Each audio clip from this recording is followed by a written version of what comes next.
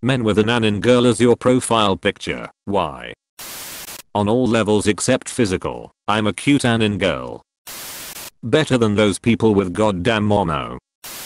My cousin's logic was that, because the enemy is distracted by the anim titty, they hesitate before shooting you in the head. My cousin was better than me at Counter Strike, so I did not voice my many questions of this bit of lobby queue wisdom. Edit, am bad at phrasing. It's so my waifu can protect my virginity. Does Dio count as an anin girl? Dress for the job you want, not the job you have.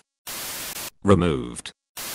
I used to use a kid's cartoon character in my online poker, no money, just fun mini tournaments, profile. I selected it purely so that the other players would underestimate my gamma play and fall easier to my traps. Worked really well.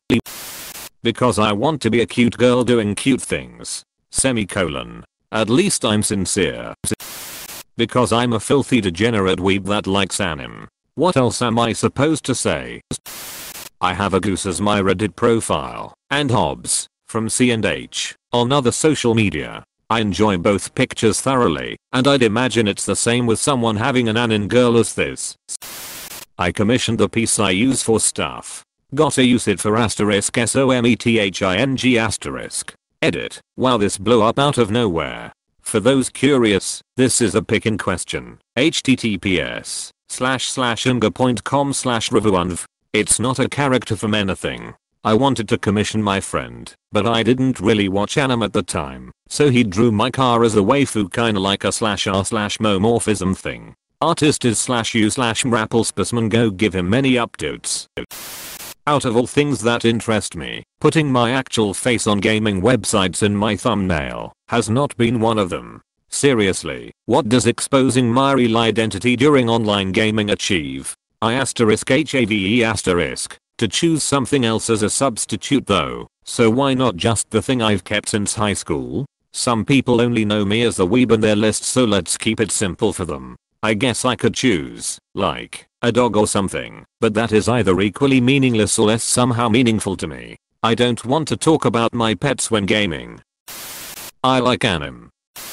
I'm 6 feet 4 under gym bro, but I like cute shit, so my gamer picture will fluctuate from dumb shit like King Crimson's dumb face to Kaguya sick in bed, sue me.